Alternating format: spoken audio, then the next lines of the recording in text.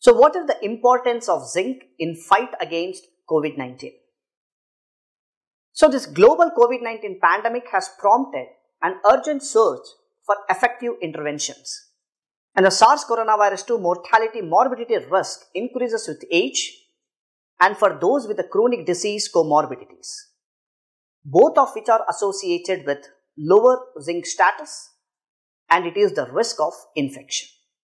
So the association of zinc deficiency with severe COVID outcomes in patients has probably labeled zinc as the second most common nutrient after vitamin D that can fight against the novel coronavirus. We all knew that across the globe, zinc has been recognized as one of the indispensable components in the standard COVID-19 treatment plan. And we know that the zinc is an essential element for the human body, which is responsible for catalytic activity of more than 100 enzymes, meaning these enzymes which requires zinc need a cofactor and all these enzymes which are dependent on zinc are responsible for adequate functioning of the immune system, synthesis of genetic materials and maintenance of the cell integration.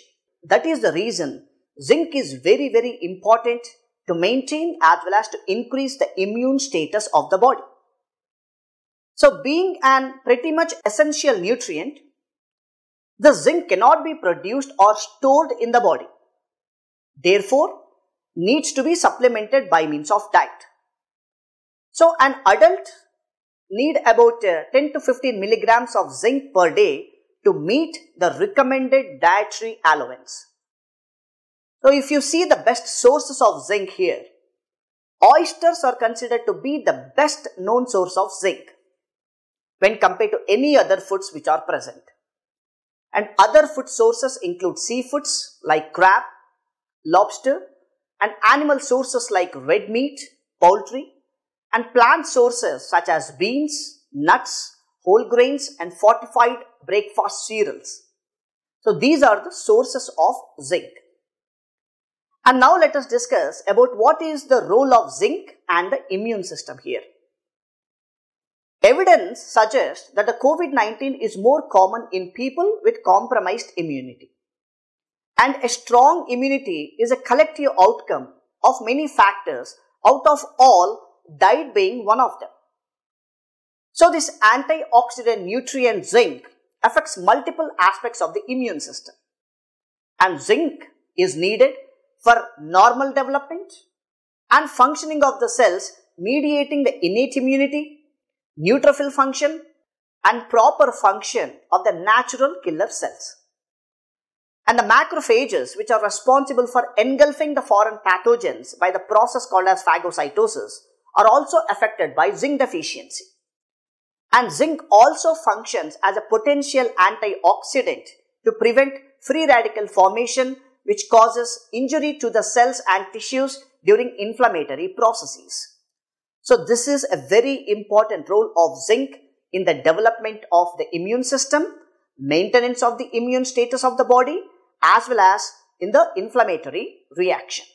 And now let us discuss about zinc ion and zinc ionophore as virus blockers.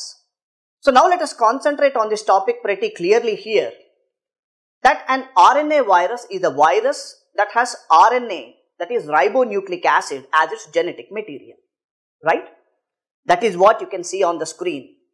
We have ribonucleic acid as a genetic material especially in the virus, right? And this RNA dependent RNA polymerase are the core enzyme for the RNA viruses and RNA synthesizing machinery. Therefore, RNA dependent RNA polymerase are the key targets for the antiviral research. So you need to block this enzyme to prevent the viral replication. In a study published last week, it was demonstrated that the concentration of the intracellular zinc ion efficiently impaired the replication of RNA viruses including COVID by blocking RNA dependent RNA polymerase activity.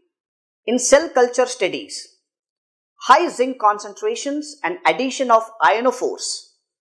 Ionophores, these are the compounds that stimulate cellular import of zinc, such as hinokitiol, pyrrolidine dithiocarbamate, and pyrithione were found to inhibit the replication of various RNA viruses, including influenza virus and respiratory syncytial virus.